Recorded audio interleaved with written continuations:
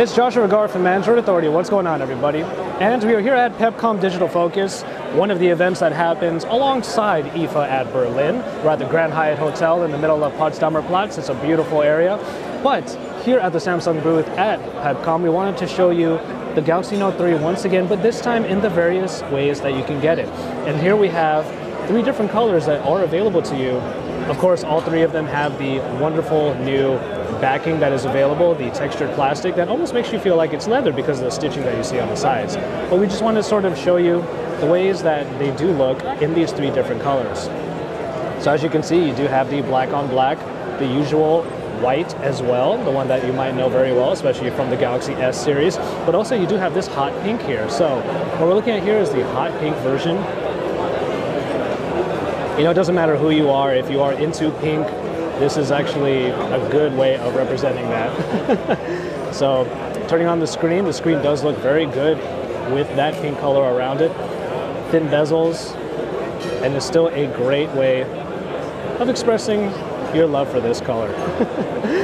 so just kind of going through the elements right now, everything here, you still have the silver sides, the silver lining to all of the power buttons. The, the camera itself has a bit of a uh, rose gold going on there. All right, then of course the pen itself comes in a lovely pink color.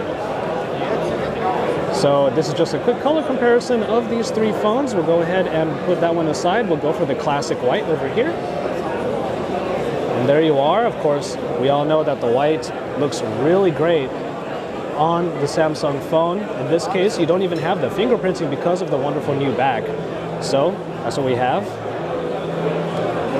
There, the classic white.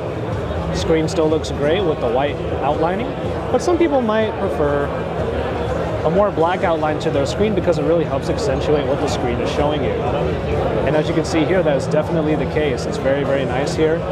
You really, the screen really pops out because the black around it is a contrast to the colors and the brightness that you get from it. And then if, and then what I mentioned before was that stitching on the sides that definitely make it feel like this is more like leather rather than just plastic. It's a very, very nice touch that they've, that they've done on this. But overall, the biggest part about these phones is the update to the texture plastic. It's just brilliant. All right, so these are just the, co the color comparisons on these. Of course, the unique one in this in this one is the pink one here, but you have the classic white and black. So once again, we're here at PepCom Digital Focus at IFA in Berlin. Stay tuned because we are Android Authority, your source for all things Android.